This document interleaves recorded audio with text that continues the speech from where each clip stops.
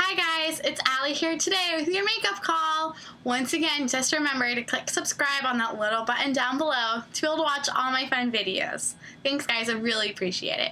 So today we're going to start off by doing a really pretty, just classic red lip. It's one of those elegant, sophisticated looks every girl should know how to do. It's just something fun you can do when you're to go out on a night of town, kind of a classy, mature look if you're going for. Um, just a few helpful hints before we start off is once you're doing your makeup and your foundation and your eyeshadows and all of that, just make sure not to do too bright of a blush or too deep of a bronzer, or too crazy of eyeshadow colors, because then you're gonna look like a clown, it's gonna be too much. I mean, your lips are gonna pop enough that that should be the basis color of your face. Make sure you can do a heavy eyeliner if you want, or even a lighter one. Stick with some natural and neutral colors. As you guys can see here, I did some browns and some just natural, so like hint of black, just to get a little bit of color there, but not too much. Alright, let's get started on the red lip.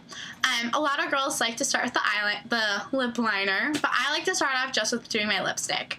I'm using my mom's Bobbi Brown. It's the red number 10. It's a, there you go. It's a really pretty color. Um, she just got it brand new, so shh, don't let her know we're using it. So let's just start. You want to start by filling in that little top part. Looks like a heart on your lip. Just kind of get it in there. Fill it in a few different times just to kind of get a real deep color. And then kind of go in here at the bottom.